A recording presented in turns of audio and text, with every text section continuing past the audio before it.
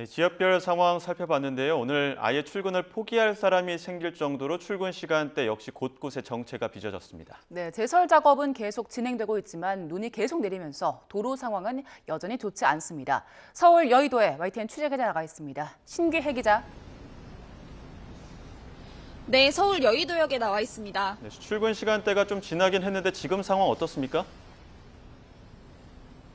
네, 지금은 눈이 완전히 그쳤고 하늘도 맑아진 모습을 볼 수 있습니다. 눈도 제법 녹은 모습인데요. 다만 살얼음이 제법 멀어 있고 낙엽과도 엉겨붙어 있기도 해서 걸어 다니실 때 주의가 필요해 보입니다. 시민들은 밤사이 내린 눈 때문에 출근길 혼잡을 피할 수 없었다고 전했는데요. 직접 들어보겠습니다.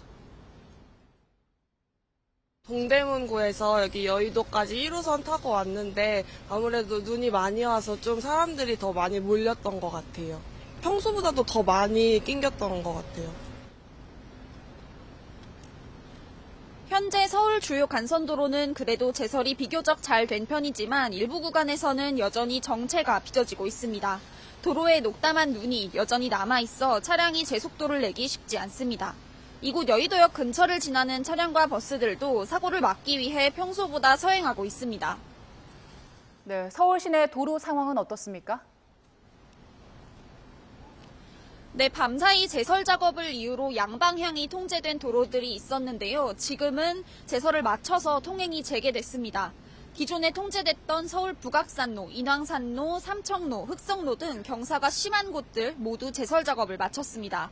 하지만 서울 시내 주요 구간들은 평소와 비슷한 출근길 정체가 이어지고 있습니다. 눈 여파로 전봇대가 쓰러지는 등 사고가 일어난 일부 구간은 부분적으로 통제가 이뤄지고 있습니다.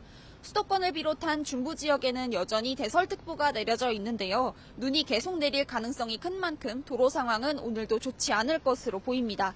지금까지 서울 여의도역에서 YTN 신기입니다.